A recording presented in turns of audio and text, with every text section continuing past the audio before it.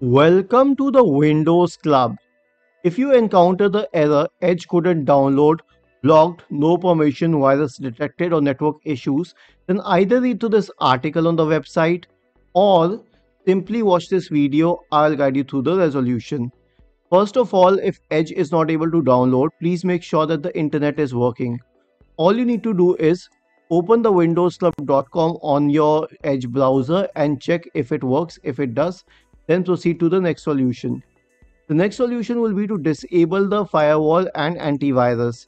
Now, since the problem is usually with third-party antivirus softwares, please contact the antivirus manufacturer for the same. And as for the firewall, the procedure is as follows.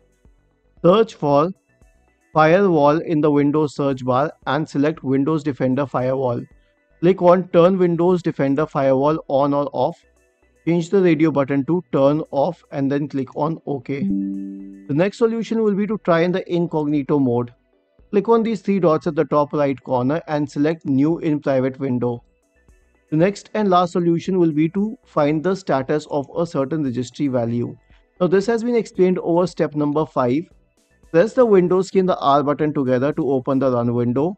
Type the command regedit and hit enter to open the registry editor window. In the registry editor window, go to HKey current user, software, policies, Microsoft Edge. If by chance you notice this download restrictions entry on the list on the left hand side, double click on it and change its value to 0. Then click on OK. This will remove download restrictions from Microsoft Edge. Isn't this easy and interesting? If you have any doubts, please go to the original article on the Windows Club, scroll down to the comment section and write your query. We will surely answer to it.